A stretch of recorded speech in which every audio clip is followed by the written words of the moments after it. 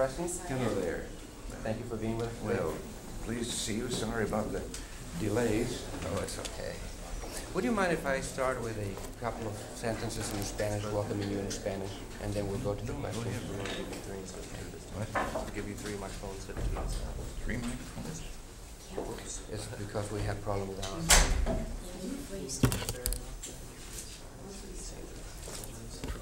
Arthur, you don't want it.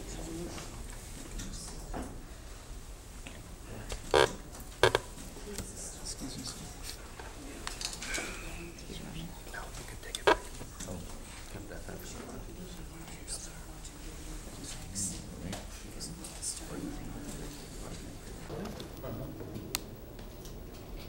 Estamos en la Casa Blanca con, con el señor presidente de los Estados Unidos, Ronald Reagan. Bienvenido, señor presidente.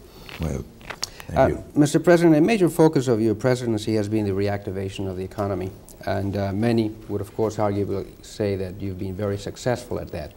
So the question now is, why now with the project of tax reform? Well, what we've started with the economy and the growth that we've had, the increase in prosperity here, I think is only a beginning. I think there's further to go. And so the tax reform, I think, could contribute to economic growth. But the main thing is, even without that, our present tax system is unfair. It is so complicated that a great many people can't determine how much they owe the government without uh, getting expensive legal help. And we believe it's long overdue that we have a tax system that is more fair, that is simpler, more easily understood by the people, and that at the same time can lower the rates, the tax rates, uh, by, in the simplification, uh, removing some of the loopholes that have led to unfair deductions by some, the use of tax shelters to avoid legally uh, a fair share of tax. Now, the question is if, if through simplification and through the new tax system, the average amount of money that the individual is going to contribute to the IRS is going to diminish, how then is the government going to compensate for the diminishing uh, tax returns that it will take? Well, we aren't going to diminish the total tax revenues the government gets. It's true we'll lower the rates. It's true that individuals will pay less tax than they're presently paying. The difference will be made up in part by what we think will be a, a more growth in the economy, and the more the economy grows, the more tax revenues there will be, but mainly it's because right now there are great many people who've taken advantage of some well-intentioned tax loopholes, as we call them, uh, to reduce their personal tax burden. And this has resulted in a great unfairness.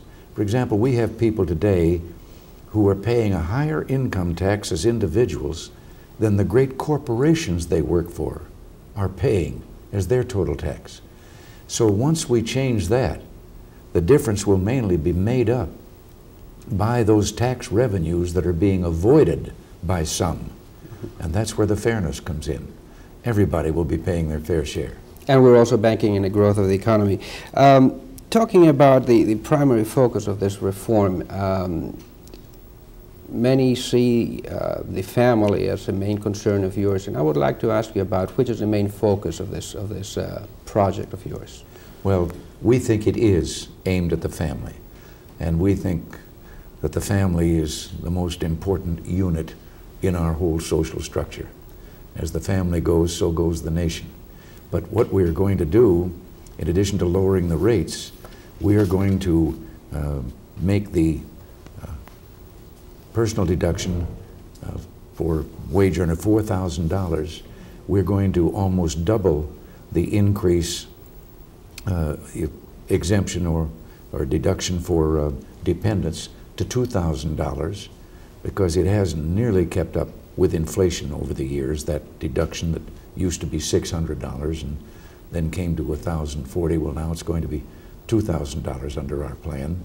And thus, we feel, particularly the families at the lower end of the earning scale, uh, we could see an average family of four that wouldn't have to pay a penny on the first $12,000 of earnings. Also, we're going to see people that uh, are near the poverty line that are going to be dropped from the tax rolls entirely. Now, Mr. President, um, tax reform is, is a very serious and complex issue, and there have been many attempts in the past. Um, there is opposition in Congress, and I would like to ask you in here, which, which are the political angles of, of tax reform, or are there any political angles to it? I think the main political angles have to do with specific changes we want to make. Uh, some of those deductions I'm talking about removing, that there are special interest groups that will try to preserve those, and they will get here and there some congressional support in behalf of uh, one of the others of those features. But I believe that overall, this may be one of those times when we see there are no Democrats or Republicans, just Americans, because overall there is a bipartisan feeling that tax reform uh, is necessary. Well, um, among the Americans, we have Hispanic Americans, and, and of course, as you know, most of Hispanic America, not most, a large proportion of Hispanic America is in the modest income category.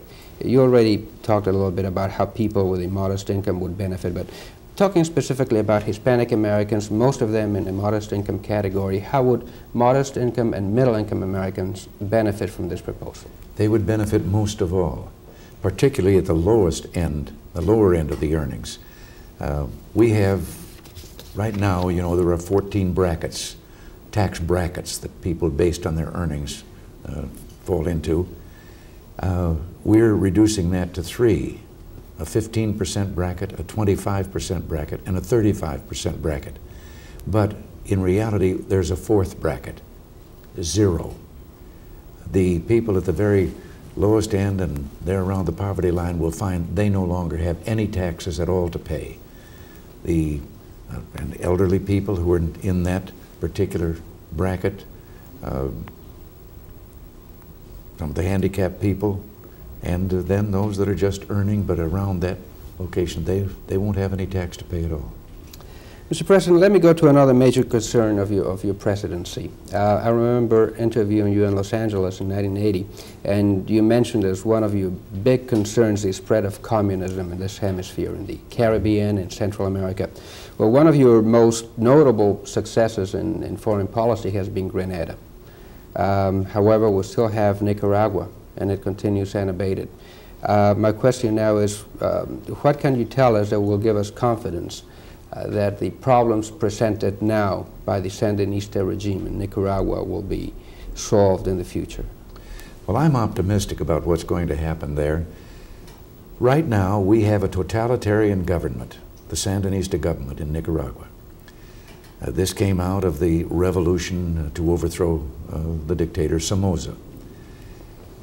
But the people who are fighting as the Contras against the Sandinista government now are mainly the people who were part of the revolution also against Somoza.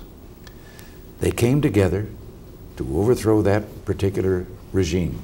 1979, those revolutionaries, including the Sandinistas, went to the Organization of American States and asked that organization to appeal to Somoza to step down so the killing could stop the Organization of American States asked them, well, what were the goals of their revolution?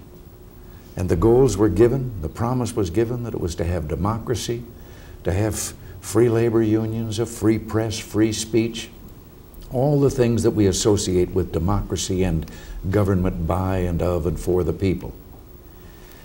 And then the revolution was over. Well, the Sandinistas were probably the most organized. They had been a pro-communist organization for years back.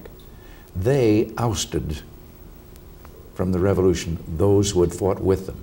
Some of the leaders had to flee into exile, some of them were imprisoned, some of them, I'm afraid, were executed.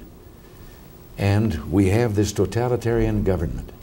It is literally a satellite of Cuba, the communist regime in Cuba, and that means it's indirectly a satellite of the Soviet Union it has made it plain that its revolution knows no borders, that it is going to be the centerpiece here in the Western Hemisphere for spreading that kind of communist regime throughout the hemisphere. Their military has been furnished and their weapons, uh, well, they're furnishing weapons uh, to the uh, guerrillas in their neighboring country, El Salvador, where there is a democratic government. So we think that in helping, as we have been trying to help, the Contras, and we've seen them grow as the dissatisfaction in Nicaragua with the Sandinistas spread among the people. The forces of the Contras have grown to around 20,000 in number. They're getting stronger. Uh, deserters from the Nicar Nicaraguan army, the Sandinista army, are turning up and volunteering uh, as Contras.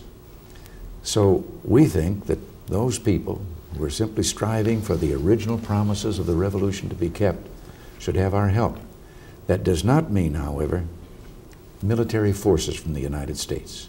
All of our friends in Latin America have made it plain to us, maybe with some memories of a far distant past, that no, they have the manpower. They don't need American manpower. They do need our help in supplies and weapons and training and so forth, and that we're, uh, we're giving them.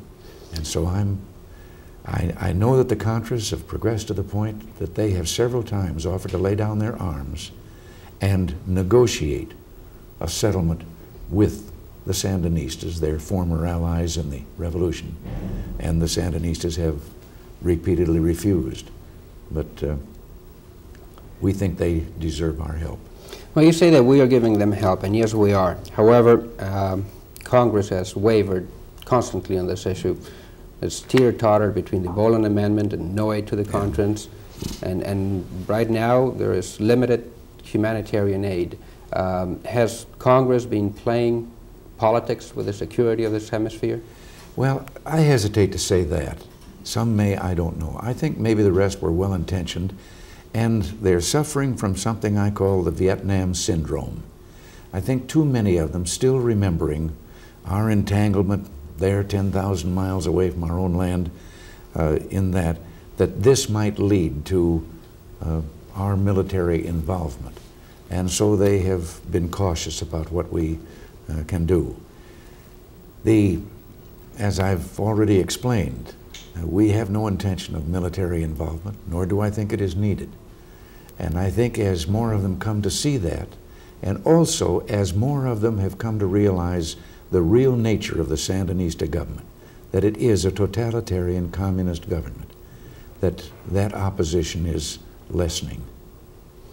Mr. President, another very important issue for Hispanic Americans is that of immigration. As you know, there has been uh, there have been attempts in the past at immigration reform. This is the third time that Senator Simpson is pushing his own version of immigration reform through Congress, and uh, Congressman Rodino and Mazzoli in the House. Um, do you support this? Uh, are you behind this attempt? would you sign into law uh, a Simpson-Rodino-Mazzoli bill if it comes to being? I have to say that beginning back in 1981, I supported the principle of uh, reform in our immigration laws because we, in a way, have lost control of our borders.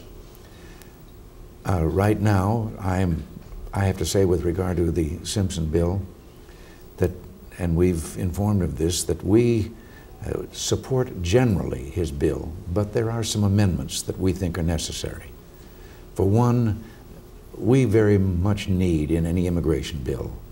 We need protection for people who are in this country and uh, who have not become citizens, for example, uh, that they are protected and legitimized and given uh, permanent residency here. And we want to see some things of that kind added to the immigration bill. Mr. President, this is my last question, really, and I want to ask you simply if you have any messages for the Hispanic community in America that's listening to you. Well, yes, I do. Our whole country is made up of people who came here from someplace else, either uh, the individuals themselves or, like myself, my case it was grandparents, uh, others it's their parents, but we represent the, the cultures, the diversity of the whole world. And we've come together in what some people called a melting pot and created a whole new breed of human being called an American. And I have to say, I think America's great success in the world has been the result of this diversity and this understanding and coming together of of such diverse peoples. And I just have to say that our Hispanic Americans, their contribution to America is not surpassed by that of any other people. They have brought a great warmth, they have brought, brought great traditions of family. In our wars, they have brought great service and great heroism, and loyalty to, to this country, and uh, all I would like to say to them is uh, uh, God bless them all and vaya con Dios. And vaya con Dios también, señor presidente. Muchas gracias. Gracias. Thank you very much. I told Sue that I wouldn't go over 15. Thank you very much. Well, For listen, it's a great pleasure. I know that I, you know, in all those years in movies, I never got to see myself speaking a foreign language where they took your picture and dubbed it Well, into you'll some other be language. sound honored into And, uh, Spanish throughout. I understand that.